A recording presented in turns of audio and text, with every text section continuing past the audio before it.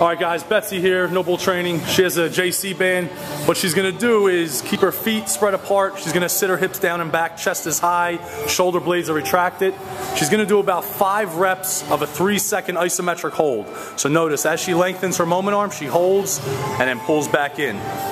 It doesn't look like much is going on, but what this is is a great anti-rotational exercise. She presses out, it wants to pull her, and she doesn't allow it. Again, just we're gonna keep it short for the video. She's gonna do about five reps, and then she's gonna spin around the other way. Very nice. Again, the core needs to be stable.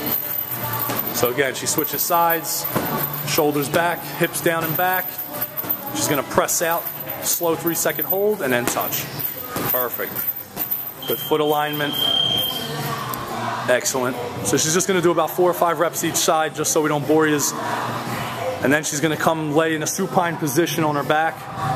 And we have a 15 pound dumbbell. We're gonna do the first step of the Turkish get up. So she's gonna have the, dumbbell in her left arm, her left knee will be high, her right arm's gonna be out at a 45 degree angle. She's gonna always look at that dumbbell and she's gonna kind of turn, rotate, and explode up.